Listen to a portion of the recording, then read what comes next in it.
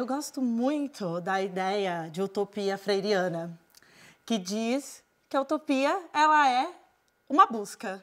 Funciona mais ou menos assim: você percebe a realidade e aí você inicia um processo de buscar novas realidades, uma realidade projetada, um sonho. Meu nome é Franciele, eu tenho 25 anos e quando eu era pequena, eu passava grande parte do meu tempo sonhando em como seria ser uma astronauta. E aí, quando eu abri os olhos, eu estava em Sertãozinho. Para quem não conhece, Sertãozinho é uma cidade de mais ou menos 120 mil habitantes no interior de São Paulo. E é conhecido basicamente por duas coisas ali, aquela região: cana e empresa. Só isso. Apesar disso, a escola era para mim o lugar que alimentava os meus sonhos. E foi na terceira série que eu tive o primeiro contato com um tipo de Olimpíada. Foi a Olimpíada de Astronomia. Eu não ganhei nenhuma premiação, mas eu fiquei encantada. Eu decidi que eu queria estudar para isso. Com a ajuda de uma professora e de uma bibliotecária na escola, eu comecei a estudar especificamente para essa Olimpíada. E na quarta série, que curiosamente foi até onde meus avós estudaram, eu consegui a minha primeira medalha, uma medalha de ouro. Ela foi muito importante, porque ela abriu para mim várias possibilidades.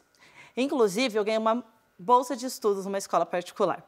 Eu preciso contextualizar para vocês entenderem qual a importância dessa escola na minha vida. A escola onde eu estudava, a escolinha municipal, lá onde eu fiz a Olimpíada, era uma escola muito boa, realmente muito boa. Mas o ano era 2003. Em 2003, não se tinha tanto acesso à informação como se tem hoje. E faculdade não era coisa de pobre. Então, quando eu entrei nessa escola particular, foi quando eu comecei a cogitar em fazer uma faculdade. Eu aprendi muito lá.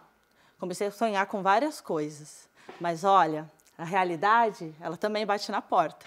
E quando eu tinha 13 anos, minha família estava passando por um momento muito conturbado.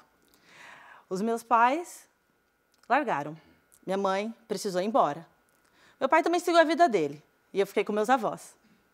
Eu não entendia muito bem o que estava acontecendo. Eu tinha 13 anos. Mas eu fui adoecendo, adoecendo. Entrei numa depressão bem profunda. E quando eu fui entrar no ensino médio, aos 15 anos, eu me afastei da escola. Eu parei de estudar. Bom, com o apoio dos meus amigos, dos meus familiares e também de alguns ex-professores, eu busquei tratamento, melhorei e voltei a estudar. Foi um processo bem difícil, confesso mas uh, com bastante esforço e com bastante apoio. Eu fiz a prova, uma prova parecida com o EJA, né, de educação de jovens e adultos, que permite avançar quando você está atrasada. Concluí o meu ensino médio e, por conta disso, eu decidi que eu queria mais. A partir disso, eu decidi que eu queria, então, a melhor universidade que eu pudesse fazer. Bom, a universidade mais perto da minha casa era a USP. E foi ela que eu fiz. Em 2012, eu entrei na USP para cursar bacharelado em matemática aplicada aos negócios. A USP era um lugar incrível, cheio de possibilidades. Eu estava deslumbrada, eu nunca tinha conhecido um lugar com tantas pessoas inteligentes juntas. Mas o ambiente acadêmico também pode ser muito ruim. Bom, era um ambiente extremamente preconceituoso e eu sentia todo dia que eu precisava me reafirmar. Me reafirmar para mim, me reafirmar para as outras pessoas. Bom, a forma que eu arranjei de me reafirmar foi participar de tudo: monitoria, pesquisa.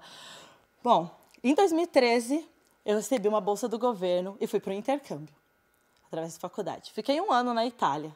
Foi a primeira vez que eu andei de avião. A oportunidade de vivenciar essa experiência foi, inclusive, a primeira chance que eu tive de estar mais perto do céu, literalmente.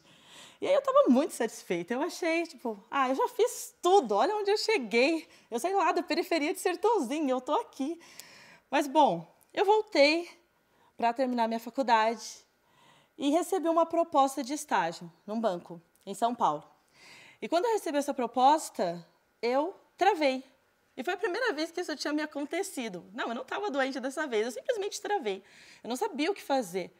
Era um estágio bom, com um salário ótimo, que eu nunca tinha pensado na vida, e eu não conseguia responder. E eu percebi que eu tinha travado porque não tinha ninguém parecido comigo nesse espaço. Quando eu digo parecido comigo, eu não digo assim exatamente parecido comigo, mas era um ambiente com poucas mulheres, com poucas pessoas negras, com poucas pessoas vindas da periferia. Toda a minha trajetória foi cercada de pessoas que me incentivaram a sonhar e me mostraram como alcançar esse sonho. E eu senti que eu queria ser exatamente esse tipo de pessoa. Eu não fui astronauta. Eu escolhi ser professora.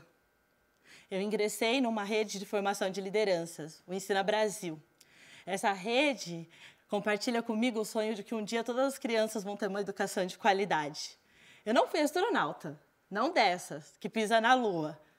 Eu sou professora, dessas que pisa na sala e olha para cada aluno como uma potência.